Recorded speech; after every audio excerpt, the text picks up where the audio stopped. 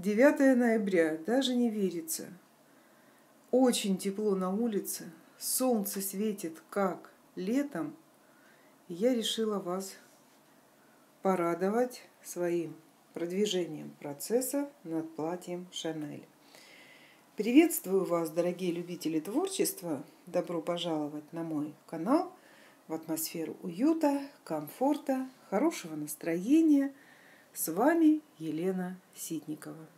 Итак, сегодня продвижение процесса над платьем или сарафаном Шанель. Сегодня расскажу, не покажу, но расскажу, как я делала вырез горловины по переду. И, конечно же, поделюсь с вами некоторыми секретами, э, как заправить ниточку в новой пряже. Так что ролик будет интересным, но очень а, коротким.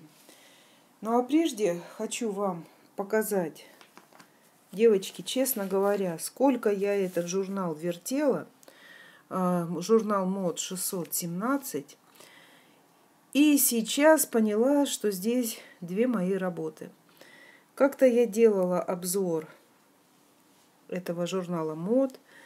И конечно же, говорила об этом. Но вы знаете, я часто забываю о своих работах, которые публикуются в журнале мод. И вот увидела вот это платье туника, которое я назвала а, «Голубая лагуна».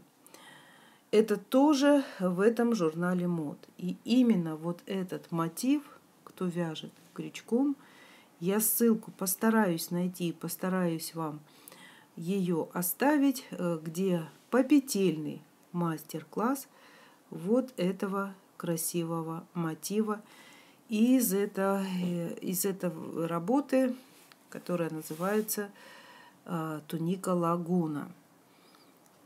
Так что делаю для себя открытие, что в этом журнале мод две мои работы – и вторая работа это вот это пальто в этой технике.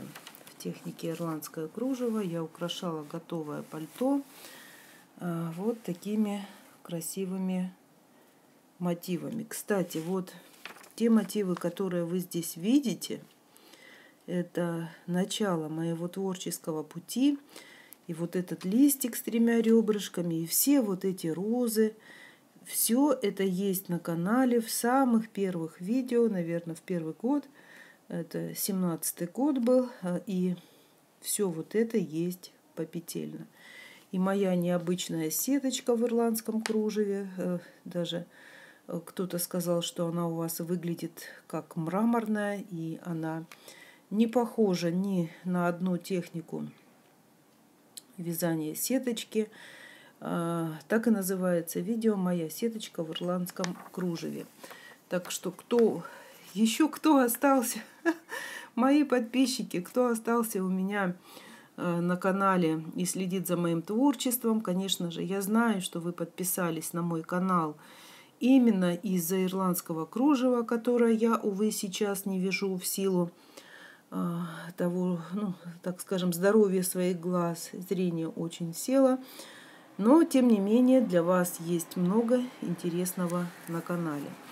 Ну, а нас, конечно же, интересует а, вот этот э, жакет Шанель и платье Шанель. Так, где оно есть-то? Вот оно. И я сегодня немножко расскажу о том, как я делала э, вырез э, горловины э, по переду. Вы мне там писали, что надо же, какой высший пилотаж, у вас вот это вот э, полотно, полотно.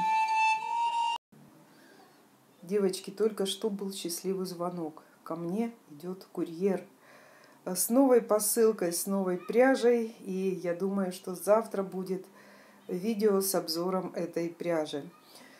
А, ну, а я продолжу свой разговор э, по поводу этого проекта техники Шанель. Я всех благодарю за ваши комментарии, которые вы оставляете к этим роликам. Я знаю, что вам это все нравится. и вы предлагаете свои методы работы. Это все прекрасно, и все методы хороши. Но я сейчас болею вот этим методом штопка. Я просто восхищена этой техникой, и пока, пока другие техники меня не интересуют. Это какое-то волшебство. То есть мы вяжем простую вот филейную сетку, потом ее заполняем игл, при помощи иглы вот этими стежками и получаем полотно в виде драпа. Мне очень напоминает вот драповое пальто, которые были раньше. Ну, естественно, это полотно гораздо-гораздо легче. Итак, э, что хочу сказать еще по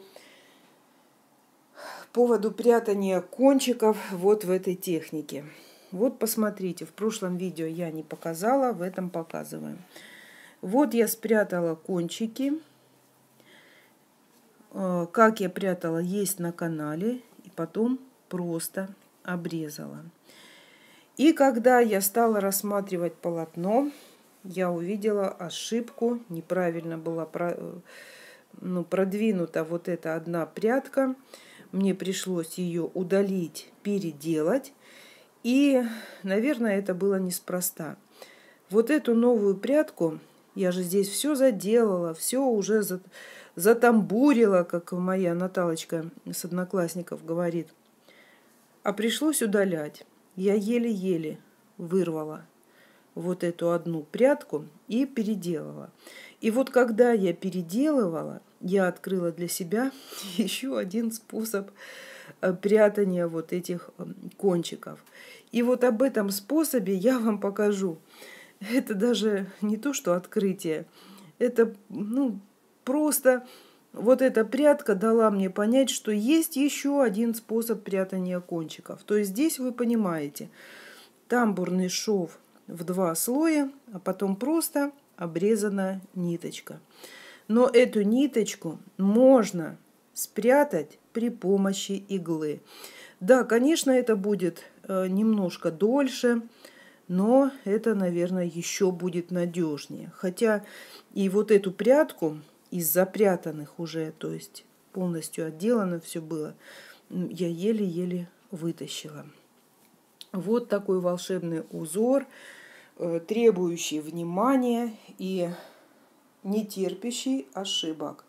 Сразу вот вы знаете, я же все проверяла, когда стала вот, вот здесь вот уже тамбурным швом проходить по низу изделия. Все проверила и не нашла ошибку. Потом я ее увидела. Как так получается, не знаю. Поэтому, мои хорошие, еще раз вам даю напутствие, что э, после того, когда вы заправили все вот эти ячейки филейной сетки, посмотрите, не выбивается ли у вас какой-то стежок из э, общего рисунка. И, конечно же, лучше это все сразу поменять, прежде чем вы будете заделывать вот здесь вот тамбурным швом. Ну, а сейчас немножко расскажу об э, том, как я вот здесь вот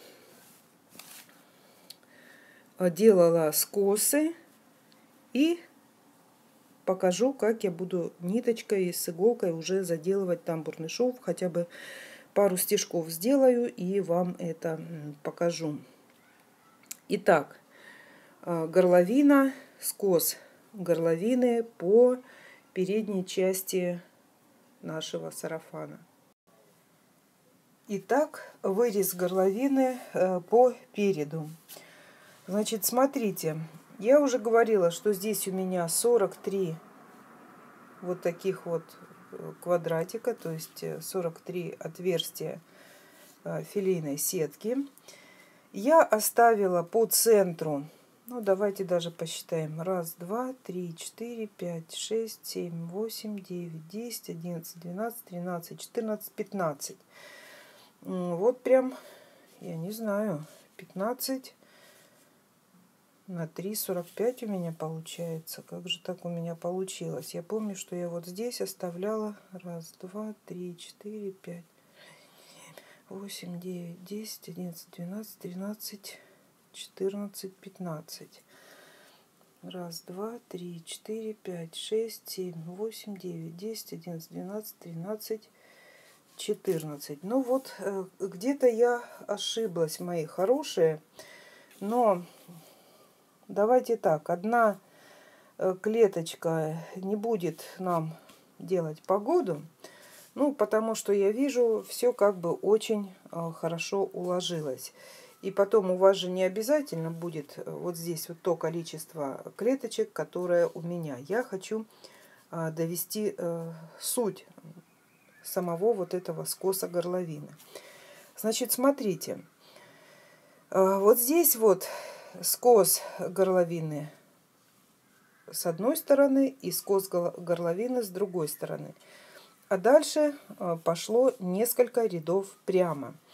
То есть, что мы здесь делаем? Мы набираем 3 воздушные петли и делаем столбик с накидом над столбиком с накидом. Идем в эту сторону, здесь все как положено 4 воздушных петли, возвращаемся. И вот, не доходя, так скажем, до а, конца ряда, мы делаем накид на крючок и провязываем столбик с одним накидом. То есть у нас вот здесь получается скос. Дальше идет смена нити. И опять мы отступаем еще вот эту одну клеточку. В итоге у вас должно, вот здесь вот вы должны выйти на то количество петель, которое осталось у вас по спине. Вот смотрите, я сейчас э, принесла спинку, да, и вот здесь вот я посчитала, конечно же, здесь уже заполненные вот эти ячейки, но здесь 9 вот таких вот э, клеточек, да, пустых. И здесь, конечно же, у нас должно остаться тоже 9 клеток, чтобы нам потом совместить а, скос плеча переда со скосом плеча а, спинки. Вот посмотрите, насколько разница. То есть полотно расширяется, когда заполняется вот этой вот, а, когда стежками мы заполняем филейную сетку. Видите? Поверьте мне на слово, что здесь одинаковое количество вот этих клеточек. Что здесь, что здесь. Но здесь мы видим, видим плечо уже, а здесь плечо шире. Когда я заполню, это будет все одинаково. А, так что ориентируйтесь если вы вяжете спинку, ориентируйтесь по спине. И не пугайтесь, если вы увидите, что у вас перед уже, казалось бы, плеча спины. Когда заполнится, он у вас будет таким же. Главное, чтобы по клеточкам у вас было одинаково, что перед, что спинка.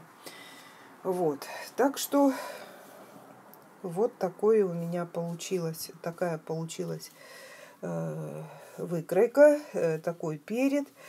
И потом, что я делала?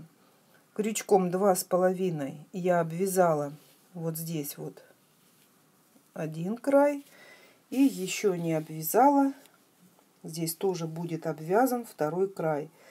Как я обвязываю край? Вот, вот в эту вот клеточку я провязываю по два столбика без накида. В каждую вот эту вот клеточку по 2 столбика без накида крючком меньшего размера. То есть сетка у меня вязалась крючком три с половиной, а обвязку я делаю крючком два с половиной. Вот, в принципе, и как бы все. Сейчас мне предстоит обвязать еще а, горловину. Я еще не решила. Я думаю, что здесь не нужна обвязка резинкой. Я думаю, что вот такой вот обвязки тоненькой крючком, может быть пару всего рядочков э, столбиков без накида хватит, чтобы красиво легла вот это вот, красиво лег вот этот вырез горловины и больше здесь ничего не надо. Вот здесь уже обвязка пойдет э, спицами и здесь будет резинка. 2 на 2, либо 1 на 1. Это я еще не решила. Она будет достаточно широкой. И вырез э, здесь будет достаточно широким для того, чтобы эм, удобно было одевать какую-нибудь рубаху, блузку. Ну, об этом немножко позже. А сейчас хочу еще ответить на один комментарий. Думала, гадала, отвечать, не отвечать. Но решила, вернее, я уже ответила, но думала, говорить об этом видео или не говорить. Но решила все-таки ответить это в видео, то есть публично. Итак, э, комментарий к видео, которое называется «Новый проект Париж». Вот вы сейчас видите, конечно, плохое освещение, но вы видите, о чем я хочу вам рассказать вот этот Париж, которому так и не суждено было родиться в этом названии. Из этого Парижа я переделала шарф. Это был жаккард спицами. И вот поступил мне а, такой э, комментарий от Светланы Мунтян. Я не понимаю, зачем же вы на публику беретесь вязать? Вообще, честно говоря, я не поняла этот комментарий. Э, то есть э, мне дают указание, что не нужно вообще вязать на публику. Ну, не понимаю, если честно, не понимаю, что в этом комментарии автор э, пытался мне сказать. И потом от нее же, вот Светлана Мунтян, да, согласна с предыдущим автором, многие действительно хотели жакет, хотя лично я хотела... Сейчас вот.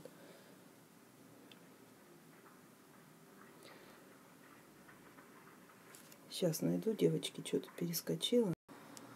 Итак, да, согласно с предыдущим комментарием э, или автором, многие действительно хотели жакет, хотя лично я речь вела о модели джаз. У Светланы это, я так думаю, что это имеется в виду Светлана Волкодав, это великолепная модель, особенно для начинающих. Э, дорогая Света Мунтян, во-первых, начнем с того, что я веду свой канал именно так, как я хочу и так, как мне нравится. И если у меня э, что-то не получилось, либо я что-то хотела, вот проект начала, да, а потом не пошло, и я это дело завернула и э, переделала в другой проект, то это чисто лично мое мнение. Я э, как бы у вас денег не брала, и я вам ничего не должна. И на своем канале я делаю то, что мне нравится. Понимаете? И бывает такое у всех людей, а у творческих так тем более, а, что иногда вот зашло, загорелось, потом что-то стало не получаться или разонравилось, или еще что-то. Причин может быть много. Либо э, вот думала, что получится, но не хватило опыта, такое тоже бывает. Вот. Поэтому я считаю, что на своем канале я вправе делать то, что я хочу, то, что требует моя душа. И если проект заглох и не дошел до своей э, конечной точки, да, э, точки внедрения, то я не считаю это зазорным и э, ничего страшного, тем более этот проект превратился у меня в великолепный шарф, который я ношу с удовольствием который мне греет душу и тело. Вот, кстати, эта работа. А, вот. И повторюсь, что я никому ничего не должна. А, более того, в начале своих роликов, если какой-то проект начинается, то я очень часто вам говорю, а, самые смелые со мной могут начинать. И если вы уверены, а, в своих силах, вы можете даже закончить это без меня. Если вы не уверены, дождитесь окончания проекта на моем канале и потом уже с большей уверенностью приступайте вязать, если вам это понравится. Я очень часто об этом э, говорю, поэтому я считаю, что я еще раз повторю, никому ничего не должна. И канал, в принципе, мои хорошие, может быть, сейчас как-то это будет резко звучать, но канал я открывала в большей степени для себя. Почему для себя? Потому что, э, во-первых, мои же мастер-классы мне и нужны. Я потом очень часто заглядываю в свои ролики и нахожу там нужную информацию. Для меня нужно общение с вами. Прежде всего для меня, я это подчеркиваю. Не для вас, а для меня. Но общение, которое меня мотивирует снимать ролики э, для вас, как ни странно. Вот. И я только за такое общение. А вот эти упреки, что зачем вы э, там э, вяжете на публику, какое вы имеете право. Вы знаете, мне вот такое общение совершенно не нужно. Вот. И потом 75 э, тысяч сегодня на канале. И такие вот единичные комментарии, они, ну, как бы я прочитала, но и забыла про вас, честно. Меня интересуют все остальные 75 тысяч э, человек. И я работаю, в принципе, Работаю, поверьте, работаю, потому что я вижу практически 24 часа в сутки. А, теряя зрение, там, а, болит шея, руки и так далее. Но мне это нравится. Это моя работа, и сейчас в данном случае канал – это мой основной доход. Так случилось, что я сейчас не работаю, и это мой доход. А, так что вот я вам ответила на такой комментарий. Я буду снимать на своем канале все, что мне нравится, все, что я считаю нужным и как я считаю нужным. И как э, я доношу до вас нужную информацию, это тоже я буду решать сама. Уж простите, если вам не нравится, э, пожалуйста, э, поищите тогда те каналы, которые будут греть вашу душу и те, которые будут нравиться вам. Ну вот, мои хорошие, на этом я буду заканчивать сегодняшний ролик. Очень солнечно, очень тепло, хочется пойти погулять, но надо вязать, потому что очень хочется завершить этот проект, потому что идет уже новая пряжа, и я хочу начать новый проект. Я вас всех люблю, всех обнимаю. И до скорых встреч. С вами была Елена Ситникова. Пока-пока.